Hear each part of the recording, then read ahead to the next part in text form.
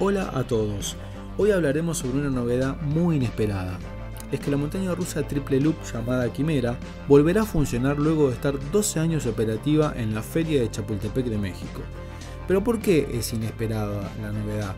Porque en el 2019 Quimera sufrió un desperfecto que terminó con la vida de dos pasajeros y la quita de la concesión a la operadora de desarrollo humano Chapultepec, Sociedad Anónima.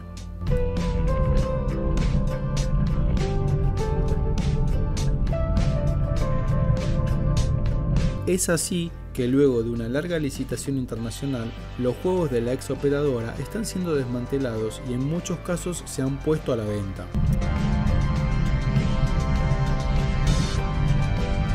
El comprador de Quimera fue el parque Indiana Beach, emplazado sobre un lago en la ciudad de Monticello, Indiana, Estados Unidos.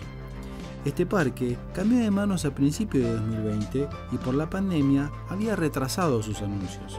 Los nuevos dueños habían prometido nuevas experiencias clásicas para el parque.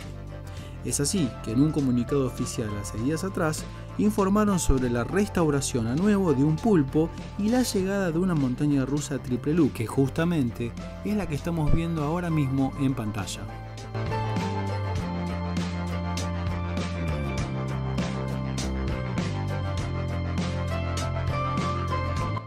Comunicado oficial.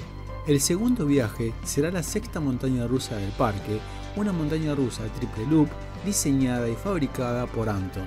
Esta atracción será completamente reacondicionada e instalada a tiempo para el verano de 2021.